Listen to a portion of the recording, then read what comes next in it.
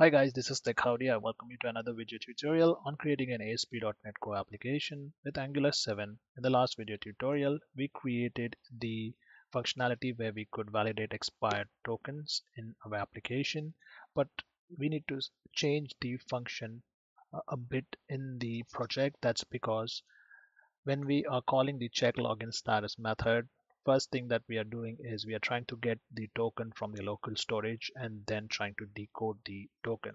So if I had to run this application again, when the application loads in my browser window, initially for the first time, there will be no token in the local storage. So which means that that method, which is trying to get the token from the browser storage will not find any token. So if you try to get the token, it will give you a message saying that there's no token, the value is null. Similarly with the login status here, if we try to get it from the local storage, the value of login status is zero. So now when initially if it's going to be zero and there's no token and if we try to get the token before we try to validate the condition, we are going to get an error in the console which is invalid token error and to fix this invalid token error message we need to make sure that we try to get the token only after we know if the token exists. And the token will will exist only if the login cookie which is the login status is 1 and not 0 to fix this what we have to do is inside this condition if condition so we will add a condition here that will check if the login status is 1 which is that we the user has logged in then we will check if the cookie exists.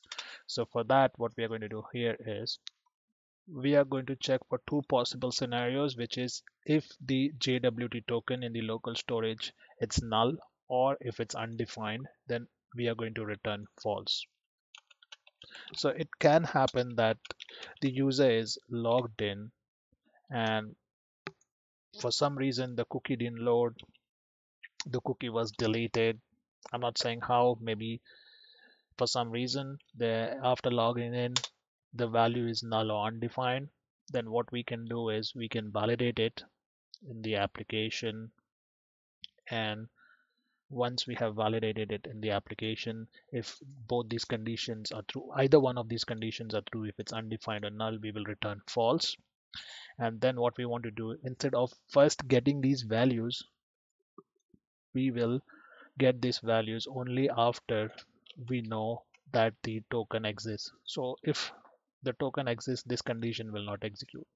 So if the token does not exist, then the value is null or undefined. It will return false.